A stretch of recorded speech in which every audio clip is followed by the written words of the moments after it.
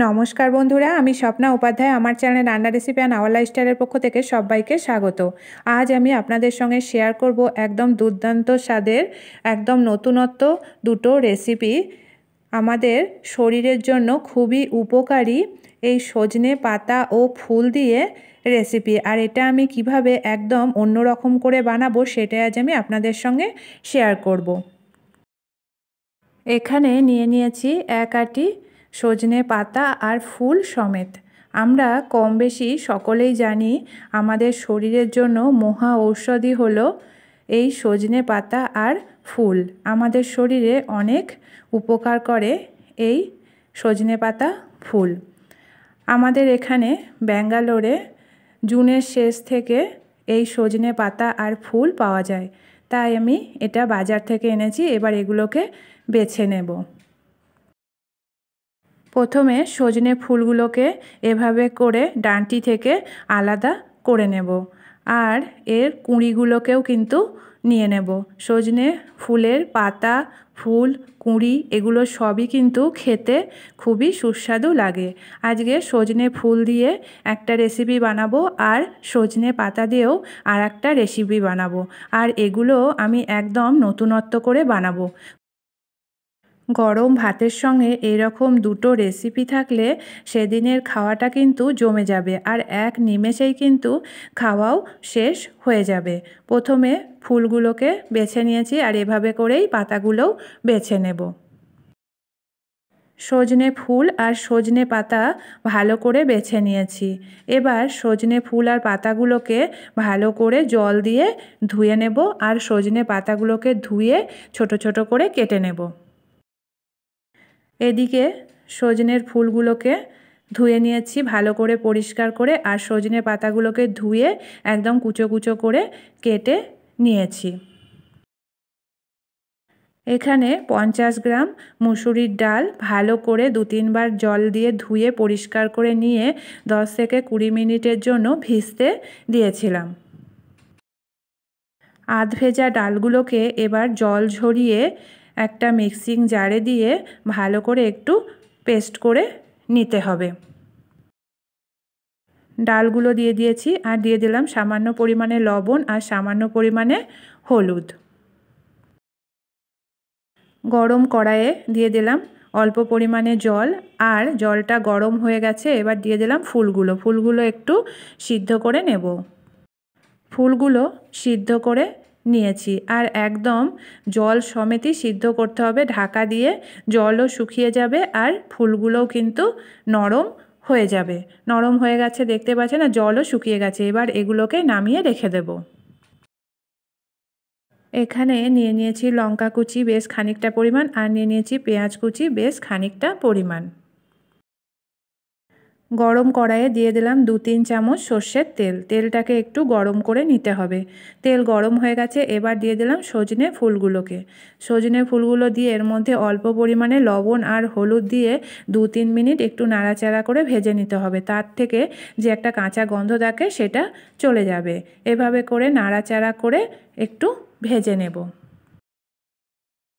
সজনে ফুলগুলোকে ভেজে নেওয়া হয়ে গেছে। এবার এগুলোকে নামিয়ে ঠান্ডা করে নেব। এদিকে নিয়ে নিয়েছি মুসুর ডালের পেস্ট। মুসুর ডালের পেস্টের মধ্যে দিয়ে দিচ্ছি এখানে সজনে ফুল, যে অল্প করে ভেজে নিয়েছিলাম সেটা, আর দিয়ে দিলাম পেঁয়াজ কুচি আর লঙ্কা কুচি। এবার এর মধ্যে দিয়ে দিচ্ছি অল্প পরিমাণে হলুদ আর স্বাদ মতো লবণ। এবার লবণ হলুদ দিয়ে ভালো করে এটাকে মেখে নেব। ভালো করে মেখে নেওয়া হয়ে গেছে সজনে ফুলটাকে ডালের সাথে আর মশলার সাথে। এবার এগুলোকে ভেজে পকোড়া করে নেব।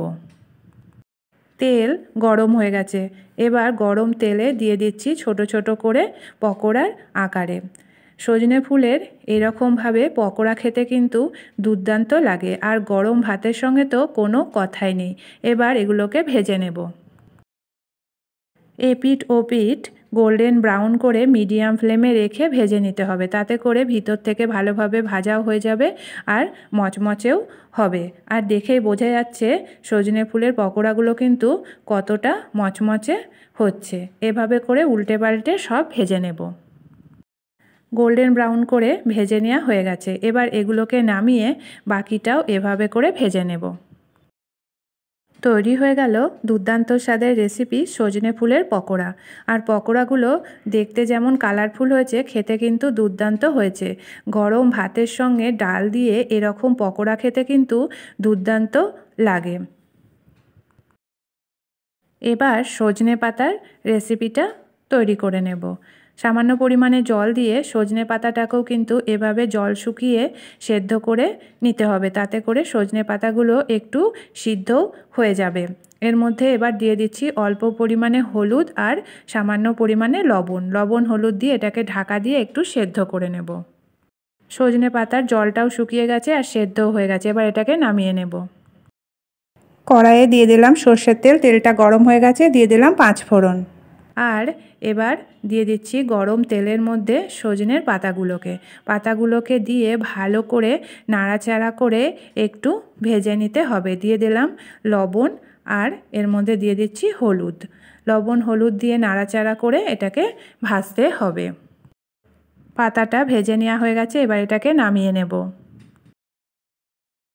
এদিকে একদম ছোট ছোট সরু সরু করে আলু কেটে নিয়েছি, খোসা ছাড়িয়ে বেশ খানিকটা পরিমাণ, আর নিয়েছি পেঁয়াজ কুচো অল্প করে আর আদা কুচো অল্প করে। গরম তেলের মধ্যে দিয়ে দিলাম টুকরো করে কেটে রাখা আলু। আলুগুলোকে এবার লবণ, হলুদ দিয়ে গোল্ডেন ব্রাউন করে ভেজে নিতে হবে। আলুগুলো দিয়ে দিয়েছি। এবার লবণ আর হলুদ দিয়ে সবসময় নাড়াচাড়া করে ভেজে নিতে হবে তাতে করে ভালোভাবে যাতে সিদ্ধও হয়ে যায়। আলুগুলো ভেজেও নেওয়া হয়ে গেছে, আবার সিদ্ধও হয়ে গেছে। এবার এগুলোকে নামিয়ে নেব। কড়াইয়ে দিয়ে দিয়েছি সাদা তেল আর দিয়ে দিলাম কালো জিরে ফোড়ন। এবার এর মধ্যে দিয়ে দিলাম পেঁয়াজ কুচি, সামান্য পরিমাণে লঙ্কা কুচি বেশ খানিকটা আর আদা কুচি। এবার এটাকে কয়েক সেকেন্ড ভেজে নেব। ভালো করে ভেজে নিয়েছি। এবার এর মধ্যে দিয়ে দিচ্ছি ভেজে রাখা সজনে পাতাগুলোকে। অল্প করেই ভেজে রেখেছিলাম। এবার দিয়ে দিলাম চিনি সামান্য পরিমাণে আর এর মধ্যে দিয়ে দিচ্ছি ভেজে রাখা আলুগুলোকে। আলু দিয়ে সজনে পাতার এই রেসিপিটা কিন্তু দুর্দান্ত লাগে। এটাকে এবার কয়েক সেকেন্ড ভেজে নিলাম। এবার এর মধ্যে দিয়ে দিচ্ছি সজনে ফুলের বড়াগুলোকে এভাবে করে ভেঙে। কিছুটা পরিমাণ বড়া আমি ভাজা রেখেছি আর কিছুটা পরিমাণ এর মধ্যে দিয়ে দিলাম। দিয়ে এটাকে নাড়াচাড়া করে বেশ পাঁচ থেকে সাত মিনিট রান্না করে নিয়ে একদম ঝরঝরে করে নিয়েছি। এবার এটাকে নামিয়ে নেব। তৈরি হয়ে গেল একদম নতুনত্ব স্বাদের, দুর্দান্ত স্বাদের রেসিপি সজনে পাতার বড়া দিয়ে সজনে পাতার শুকনো, ঝরঝরে একটা রেসিপি আর এটা গরম ভাতের সাথে কিন্তু দুর্দান্ত লাগে।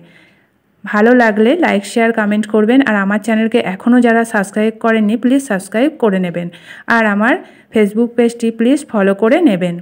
আজকের মতো এটুকুই। আবার দেখা হবে আগামী নতুন পর্বে। ভালো থাকবেন, সুস্থ থাকবেন। ধন্যবাদ।